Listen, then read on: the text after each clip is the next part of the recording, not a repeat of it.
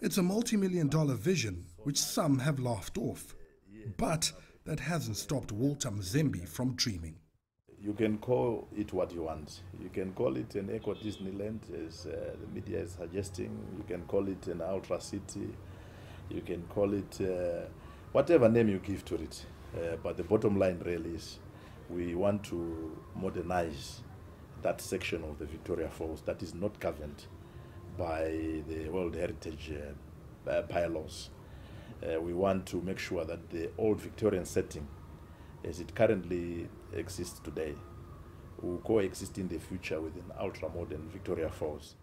And that means setting up amusement parks, casinos, and specially themed zones to target visitors from different parts of the world. The idea has already won over potential financiers. From what I'm seeing now, there's huge international interest. What we now need to do is to complete the conceptualization of the project in the manner that I'm saying now, that we must align it to other products internationally before we can now issue an international invitation for an expression of interest.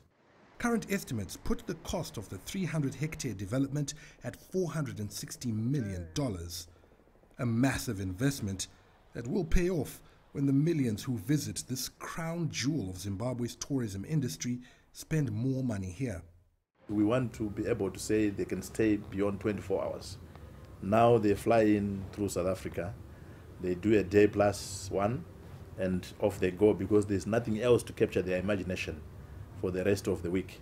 So we want to introduce this diversity of products. And this is not the only big news in town.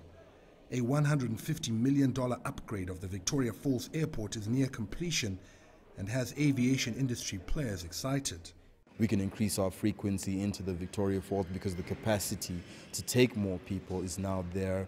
The runway is bigger. We can open the airport for longer because now that we have runway lights and we can do night flights into Vic Falls. While the international tourist seems to be the main target, locals will get in on the action too. amusement parks like these have fallen silent, but very soon ordinary Zimbabweans will be able to experience bigger, faster, and even better rides than those that they've become accustomed to. Farai Mwakutuya, CCTV, Harare, Zimbabwe.